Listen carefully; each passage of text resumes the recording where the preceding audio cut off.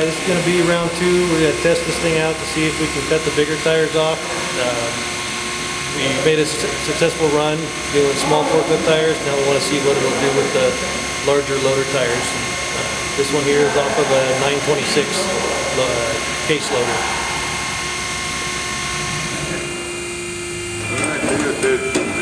Hey,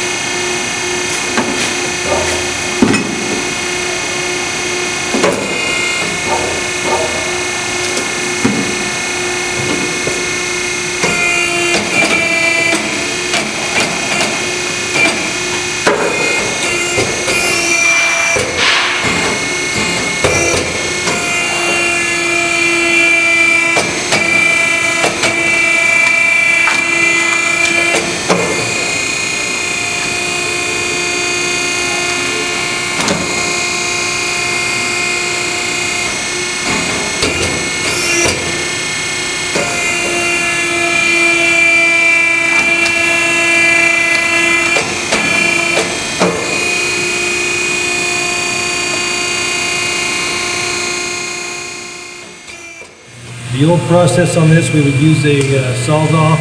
It would take me and another guy roughly six hours um, to switch off and on with uh, fatigue on the Sawzall.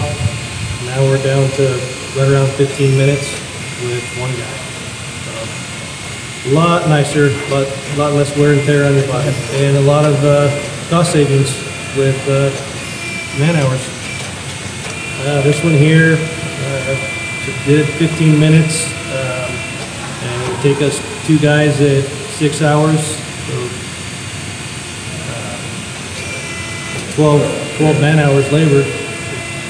Uh, Pretty big, um, you're not uh, hunched over the machine with Sawzall, you get, you get, your back would get sore, Uh, a lot of uh, vibration in your, in your wrists and your forearms and your shoulders, and uh, the Sawzall would have little pieces of rubber, burnt rubber that would only pop off, so you'd have to wear long sleeve or you get burnt. Um, And with this, there's minimal back,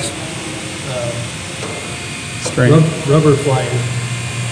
Uh, $425 to, for two guys to spend uh, 12 hours cutting this thing off, or six hours cutting this thing off, uh, compared to roughly $9 for 15 minutes with just me, or one guy. Long-term, you can do this, there's no, no fatigue on your body, um, where the other way is a lot of, lot of manual labor and fatigue. And with this, there's none, it's all automated.